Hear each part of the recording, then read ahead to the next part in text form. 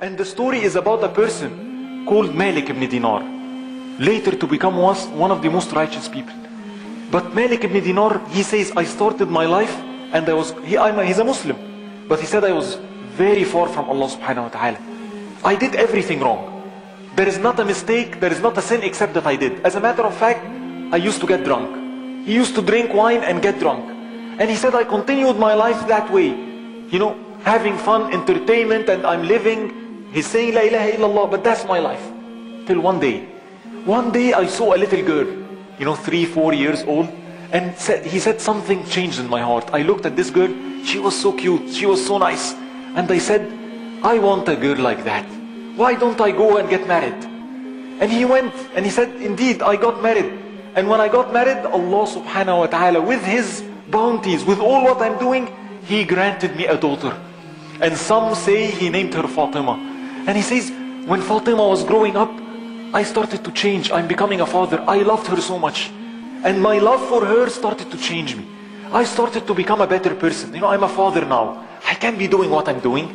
And he said, even one, one day, one night, I was drinking, as I used to do, drinking intoxicants. Intoxicants, khamr. As I'm drinking, she came, sat in my lap, and then she pushed the drink away. When she did that, I said, that's it. I'm done. I can't drink anymore. I'm a father, look at her. And I started to stop going for intoxicants, no more drinking. And he said, my life started to change gradually.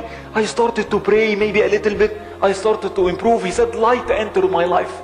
And I started to have hope. But surely enough, one day, my daughter fell sick. And I became very worried. Uh, This is the light of my life. This is the one that I love. Please, Ya Allah, she's sick. And she gets sicker. And she gets sicker. And he became so worried. And surely enough, he says, she became so sick. And then she died. And when my daughter, a three years old die, a four years old die, you, the people who pass through this, it is a calamity. And he said, I couldn't take it.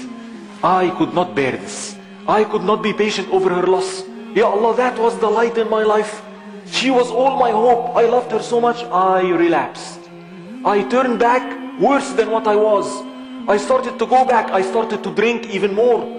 I relapsed completely. I couldn't take the pain. And he said one night, I said, I'm going to drink tonight like I never did before. And I started to drink, drink, drink, drink, until basically he zonked out.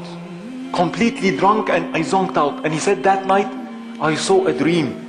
And in that dream, it was judgment day. And I was really scared. It's the day of judgment. And then all of a sudden, everybody was resurrected. And I saw everyone. The land is plain and everyone is resurrected. And I hear angels calling people by their name. And then one of the angels called my name. He said, Malik ibn Dinar. هلم للعرض على الجبار.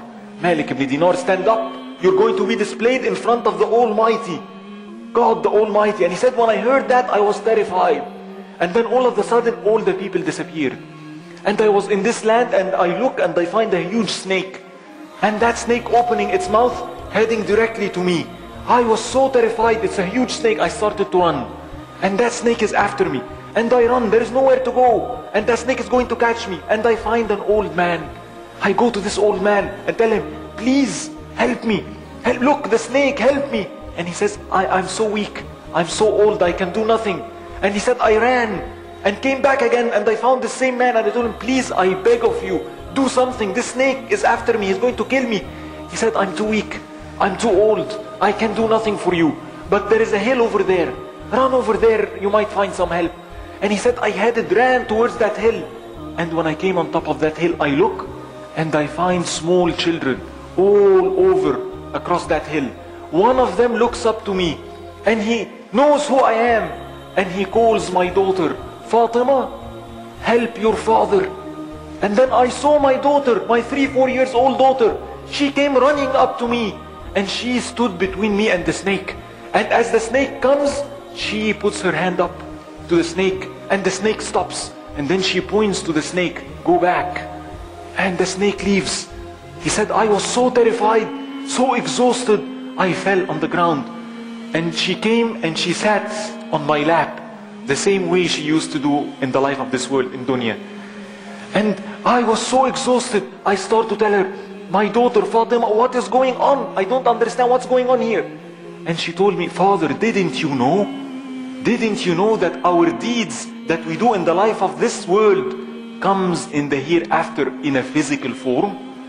And the Quran says, Allah subhanahu wa ta'ala says, on the day of judgment, you will find, I'll find what I'm doing present in front of me. And then she told him, that snake that you saw, they, that was your evil deeds. You made him so strong. You made him so powerful. You did so many of them. They were going to destroy you. As for that old man, that was your good deeds. You made him so weak. You did so few of them. And he couldn't help you. And when Allah subhanahu wa ta'ala saw that, and he saw that you're going to destroy yourself, he took me away from you when I was young, lest you be patient over my loss. And by your patience over the, my loss, Allah subhanahu wa ta'ala forgives your sins and admits you to Jannah.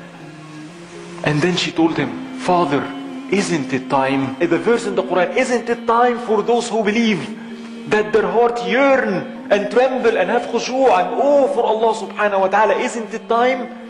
And what has been revealed to it? And Malik ibn Dinar said, I started to say, it's time, it's time, it's time. And he said, I woke up. I woke up crying, saying, it's time, it's time.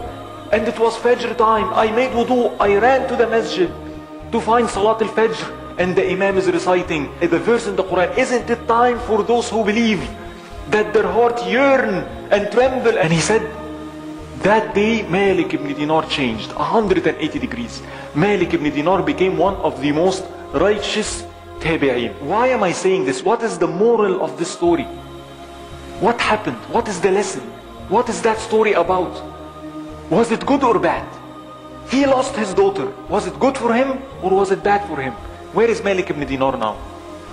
Where is his daughter now? Was it good or bad? The scholars say, ربما أعطاك فمنعك وربما منعك فأعطاك. It might be that he gave you, but in reality he's depriving you. And it might be that he's depriving you, and in reality he is giving you. Allah subhanahu wa ta'ala gives sometimes by depriving. He gives in deprivation. And sometimes when I see things that I like coming my way and I say, hey, life is good. And sometimes it is a punishment.